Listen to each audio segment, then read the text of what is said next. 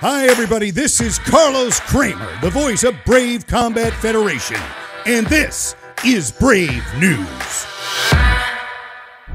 We start this edition in Brazil, where the light heavyweight champion Klidson de Abreu got a new challenger. After the injury of his original opponent, Kennedy Nzechukwu, Klidson will now defend his title against the newcomer Matt Baker from Canada. With 25 professional fights, the Riot Maker is a veteran from promotions such as King of the Cage and World Series of Fighting.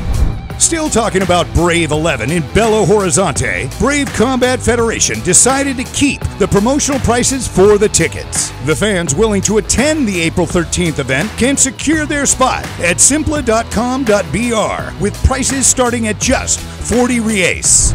Big news coming from Southeast Asia.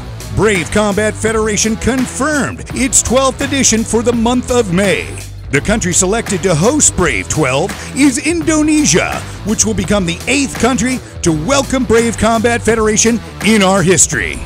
To wrap up this edition, the Indonesian card has got its first two fights already. While champion Carlston Harris is unavailable, Jordan's Jarrah Al Silawi gave up his title shot in order to stay active and will face a very tough challenge. French Algerian striker Tahar Fast Hands Hadbi. One of the biggest recent signings of Brave Combat Federation, France's Mehdi Baghdad, had his debut announced. The Sultan will fight Poland's Pavel Kielik in a welterweight bout.